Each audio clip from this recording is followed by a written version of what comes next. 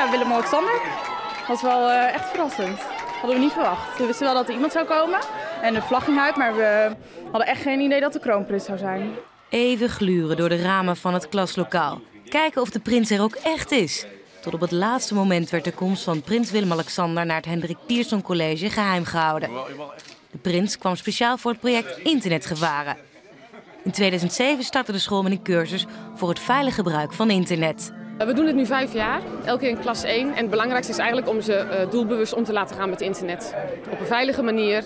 Uh, zowel de voordelen als de nadelen komen aan bod. De prins bezocht vier klassen en sprak met docenten en leerlingen. En zijn jullie ouders allemaal, heb je het gevoel, weten ze genoeg van computers af uh, om, om te begrijpen waar jullie mee bezig zijn?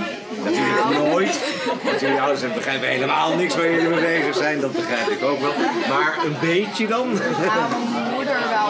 Ja, mijn vader ook wel. Ja. Leerlingen moesten wel even wennen aan het koninklijk bezoek. Dat was ja, best wel spannend. Ik had niet verwacht dat hij hier zou komen, maar ja, het was best wel leuk. Ja, wel een aardige man. De prins heeft als lid van de adviesraad van informatieuitwisselplatform ecp.nl extra interesse voor de les.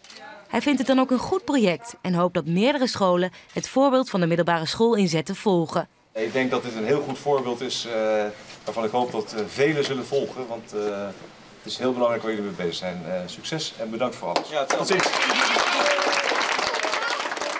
En aan het eind van zo'n dag moet er natuurlijk een foto gemaakt worden. Een dag om niet te vergeten voor alle leerlingen en docenten.